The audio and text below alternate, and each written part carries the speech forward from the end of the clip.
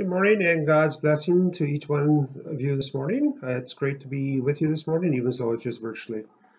It's uh, my heart goes out to each one this morning, especially during this COVID-19 period of time, especially those who are struggling in any way, whether it's through just discouragement, uh, anxiety, or fear, that uh, God would uh, grant you a sense of encouragement and peace and joy at this time. Certainly, think of those who are in the healthcare profession that again, God would uh, provide his hand of protection and his shield of protection uh, as you do out your uh, duties. And for those who are in shut-ins, can be a very lonely time without any family around you, any visitors. So certainly pray that God's uh, sense of uh, peace and uh, comfort would be with you as well. So this morning, as we dig into the lesson on Isaiah 61, the Lord loves justice. And I guess the question uh, I'd like to start with is uh, How full is your cup this morning? David in the Psalms often talks about his cup is overflowing. Uh, can you say your cup is overflowing? Or maybe if you're like me, and I do struggle with anxiety from time to time, and I think that's somewhat genetic because I think I sort of pass it on to my kids, is uh, sometimes I need my cup topped up. This, uh, this is certainly a season of uncertainty, and with that, we see lots of different emotions in people. What are some of the emotions that you would say you see in people? Um, I, I would think there's a lot of anxiety in people right now. Fear of the unknown, the uncertainty.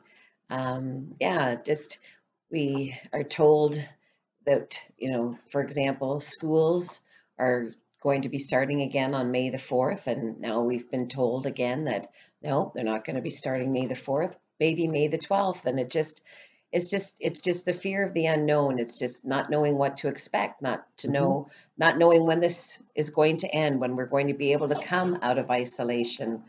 I think that for a lot of people, it can be depressing mm-hmm. being cooped up in your house. Oh, definitely. for me, for me, Anyone who knows me knows I am a very social person, and it's been very hard for me not to be able to go and see my family, to meet with my friends, uh, playing games, and yeah, it's just it's it's just hard. Yeah, this season is certainly harder for extroverts and introverts. Us introverts don't uh, find uh, spending time, quiet time, quite as difficult. Yeah. But certainly the extroverts certainly miss that social time. Yeah, for sure. So our prayer is that whatever situation you find yourself in, don't be afraid to ask for help. Talk to somebody about it, but have confidence and be encouraged that the Lord goes before you and will be with you. What are some of the uh, scripture verses that you find dear this time? Deuteronomy 31 8 says, The Lord Himself goes before you, and He, be, he will be with you. He will never leave you or forsake you. Do not be afraid. Do not be discouraged. Psalm 27 1 says, The Lord is my light and my salvation. Whom shall I fear? The Lord is the stronghold of my life. Of whom shall I be afraid? And Hebrews 12 1 to 2 says, Let us run with perseverance the race that is set out before us, looking to Jesus, the pioneer and perfecter of our faith yes, good, good uh, scriptures to remember. Uh, so this lesson text is taken out of Isaiah 61. So I just wanted to read, go through the, the chapter together this morning. In Isaiah 61, I'm hoping that uh, it will leave you rejoicing greatly in the ministry of Jesus Christ. And as we look at how God values each person, each one of us, and calls us by our new name, and will leave your cup of joy overflowing this morning. So Isaiah 61, just to give it a bit of context, if we turn back to Isaiah 56, the first few verses, this is what the Lord says Maintain justice and do what is right, for my salvation is close at hand, and my righteousness will soon be revealed. So then Isaiah goes from there, uh, 56, 57, 58, 59, right up to 61 he describes how the Israelites failed miserably at uh, living out righteous lives. And that takes us right to Isaiah 61. In Isaiah 61, if you look at the chapter, I'd almost break it down into two parts. Uh, first of all, is the Messiah and his mission. and then the result of his mission as displayed in our lives. So, Becky, if you would read the first uh, part right up to uh, the year of the Lord's favor. The Spirit of the sovereign Lord is on me, because the Lord has anointed me to proclaim good news to the poor. He has sent me to bind up the brokenhearted, to proclaim freedom for the captives and release from darkness for the prisoners, to proclaim the year of the Lord's favor. So, where do you find these verses familiar? Where have you heard Jesus quote these verses? Jesus had quoted this when he was teaching in the temple. It was it was his proclamation of announcing that he was Messiah. He is the he is the one that is going to be that has been sent to bind the brokenhearted, to free the captive and release prisoners, to proclaim the year of the Lord's favor. Jesus was proclaiming that this is now being fulfilled in him when he was teaching in the temple. Jesus had claimed that he had fulfilled his prophecy. Jesus came to proclaim the good news of his salvation, and by bearing our sins on the cross and being released and raised again to have victory over death, and declaring that all that believe in him and are born again of his Spirit are declared forever righteous. He came as a Savior to seek and save the lost, and that was his primary mission. And we see the purpose of his mission then in verse 3. You want to read verse 3? To bestow on them a crown of beauty instead of ashes, the oil of joy instead of mourning, and a garment of praise instead of a spirit of despair. They will be called oaks of righteousness, a planting of the Lord for the display of his splendor. Hmm. Wow. Uh, those are powerful verses. Uh, he calls us from our state of spiritual depravity and wants to transform us to righteousness. And notice what he calls us. He calls us oaks of righteousness. What do you think about when you think of oak, an oak tree? What symbolism is there for an oak tree? Yeah, I, th- I, I think of er- oak trees as being strong, sturdy, unwavering. You know, the wind comes, but they don't blow over. They're they're pretty steadfast. Hmm. Yes. Oaks of righteousness, a planting of the Lord for the display of his splendor. The world will notice something tangibly different in your Christian life. In our behavior, we should display his character to the world. Jesus saved us to display his righteousness so that he will be glorified. So whatever you're doing this week, remember that you are a oak of righteousness on display to bring him glory. Uh, let's read the. Why don't you read the rest of the, cha- the chapter? I think the rest of the chapter sort of deals with more our response to his mission. Everlasting joy will be yours, for I, the Lord, love justice. I hate robbery and wrongdoing. In my faithfulness, I will reward my people and make an everlasting covenant with them. Their descendants will be known among the nations and their offspring among the people. All who see them will acknowledge that they are a people the Lord has blessed. I delight greatly in the Lord. My soul rejoices in my God, for he has clothed me with garments of salvation and arrayed me in a robe of his righteousness. As a bridegroom adorns his head like a priest, and as a bride adorns herself with jewels, for as the soil makes the sprout come up, and a garden causes seed to grow, so the sovereign Lord will make righteousness and praise spring up before all nations. Wow, that's great. What are some of the verses that uh, speak to you this morning as you read that uh, those verses together? Some of the things that stand out to me is that uh, when you started there, that first verse in seven, I think, uh, everlasting joy. That is something that we all seek, isn't it? Everlasting joy. You know, we as a society, uh, we all like to pursue uh, joy apart from God in other things, other pleasures. While God is the only source of true joy, and uh, we can only find that in Him.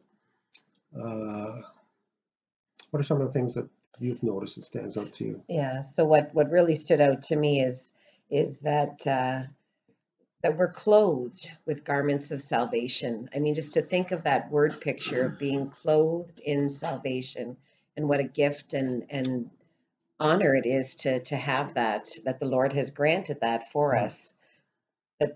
well, that's what makes us righteous. I like the adjective that's used there. He has, he has, it's already done. He has clothed you with garments of salvation and arrayed, arrayed you in a robe of righteousness. Let's just think about that. Can you imagine what it would be to meet, what it'd be like to meet Jesus face to face? Isn't there a song that you always listen to? What's the title of that song? The song is I Can Only Imagine by MercyMe. And the words in it just are a very powerful song in imagining what it would be like when you're standing before Jesus. You know, what what what is your reaction going to be? Are you going to be able to stand in his presence? Are you going to be on your knees before him, bowing? You know, will you be able to sing hallelujah?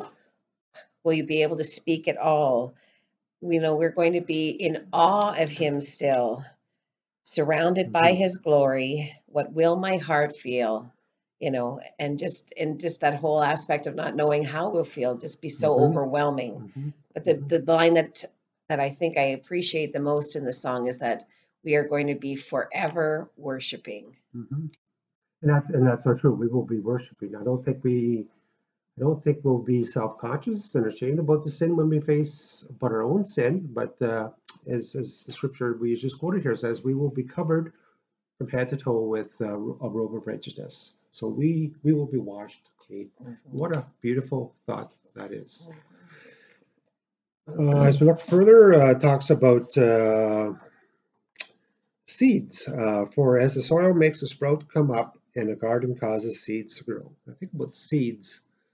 Uh, that's a, that's the seed's natural response when you put it in the soil is to is to grow, is to flourish. And uh, another analogy when I think about seeds uh, for us farmers or for gardeners is uh, you plant a seed. A seed has its own uh, parental genetic D, DNA planted in, into it. And uh, its job is to produce a plant that has the exact rep- replication of its uh, parental material. So just as the Holy Spirit is planted in each one of us, uh, we should produce a life that speaks of His character and of His attributes. And through sanctification, as God's chosen people, we are to be a replica of our Heavenly Father. How well are we doing at reflecting the Father's image to the world that we connect with daily? I was thinking about being a true reflection of the Father. I thought about our trip to uh, to Washington that we done a couple years ago, and we toured uh, and, and looked at a lot of the state buildings, which were just granular in their stone structure, and how each uh, each one of those buildings had a pool in front of them, uh, a pool that was probably uh, water that was only a couple inches deep, but just the job of the pool was to reflect the, the splendor of the building. And I thought about that. You know, how how how well are we doing at reflecting the splendor of the Father? And that's what we want to sort of leave you with, leave with you this morning. Is how full is your cup of joy this morning? It is probably directly proportional to how clear your gaze is upon Jesus Christ and how much you fully comprehend what He has done for you. Just want to finish off by reading a few verses in Psalms, Psalms 103, the first few verses. Praise the Lord, O my soul, all my inmost being, praise his holy name.